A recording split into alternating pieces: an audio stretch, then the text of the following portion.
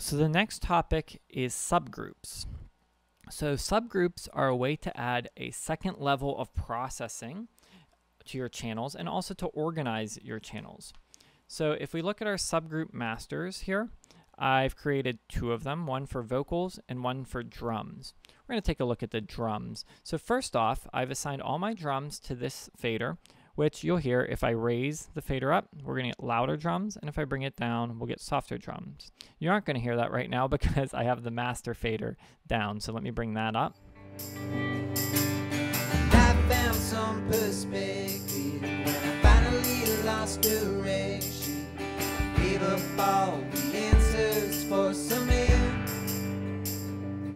Okay, so that fader is controlling all of my drums.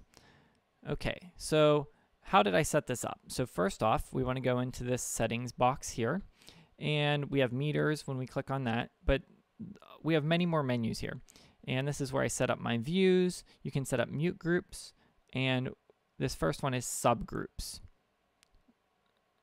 And the groups. So I'm going to look at the drum subgroup.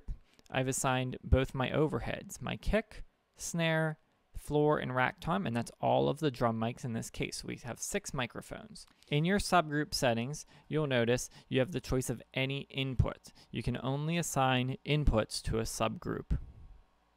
So now to control the level of the overall drums, I have all of those in one spot. So let's look at some advantages here.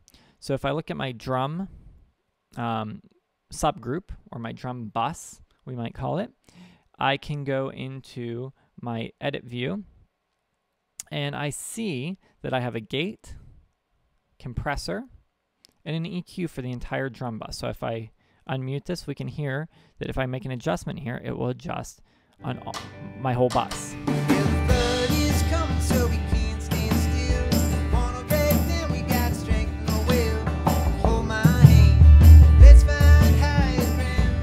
So a subgroup is just simply taking your faders that you assign to your group and bringing them in to a second channel strip essentially.